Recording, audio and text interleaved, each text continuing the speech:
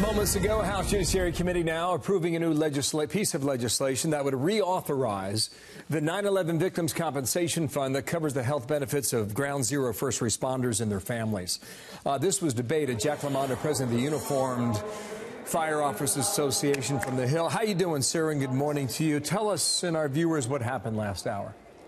Good morning. Yes, uh, well, the, the uh, bill was uh, in, in committee and a, uh, uh, it was in committee for markup, and uh, there was no amendments to the bill, and it was uh, voted unanimously out of committee to the floor of the House. So, do you expect it to pass on the floor of the House? And I guess is the obvious Yeah. question next, sir. Yes, well, we have tremendous support for the, for this bill. Never forget the HEROES Act, which uh, uh, uh, funds the Victims' Compensation Fund.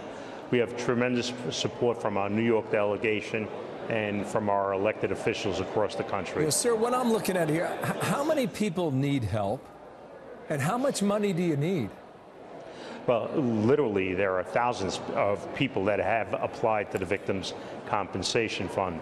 The Special Master has done a terrific job uh, in dispensing these funds, but it's running out of money. The uh, exactly how much money is needed, that that all depends on how many more people, how many more first responders, how many more civilians become sick from the uh, do, do they hazardous have environment. to? Do, do they have to prove that they were there on the pile, or how does that work? Well, you know, as far as New York City firefighters and fire officers are concerned, we have, uh, if you were there, you filed a, a notice of participa- participation, which documents that you uh, were down at the site for at least 40 hours. You wonder why that even has to be debated. A couple things here. Chuck Schumer, a moment ago on the floor of the Senate, said the following. even in a divided Congress, even in a divided country, this issue is an absolute issue of moral clarity. And just as we don't leave soldiers on the battlefield behind, we must not leave the brave first responders behind when it comes to their health care.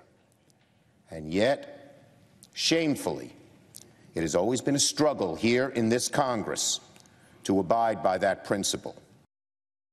I want to ask you a question on that, then one more point here. W- Was this ever really in doubt, Jake? Uh, as far as we're concerned, it's not in doubt. We will continue to walk the halls of Congress until this legislation. Understood, but was, was Congress about to turn tail on this ultimately? Well, uh, again, uh, you know, we're, we're optimistic that, uh, you know, on the day our nation was attacked, this nation was not divided. And we stood as domestic soldiers. And we expect that when it comes uh, for a full vote, that we will uh, be a nation as one. And we will si- signal to the people who had attacked us that we cannot be, we can be knocked down, but we cannot be knocked out. Uh, just one more thing. Jon Stewart yesterday got a lot of attention. You were there as well. This is part of what he's, he said. Behind me, a filled room of 9 11 first responders.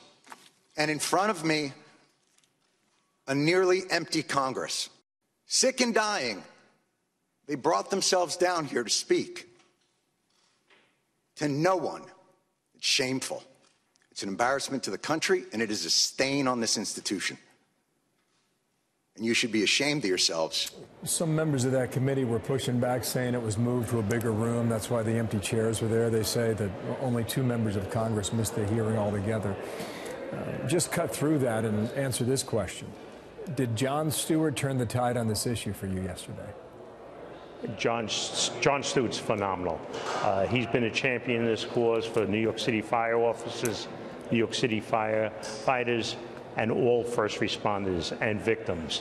Uh, obviously, he's very passionate about, about this, and he's very emotional, and uh, I believe uh, he has brought insurmountable attention to this issue. You might have needed his voice. Jake, thank you so much for your time. We'll see what happens in the full House. Thank you. Jake Lemonda there on the Hill. Thank you, sir.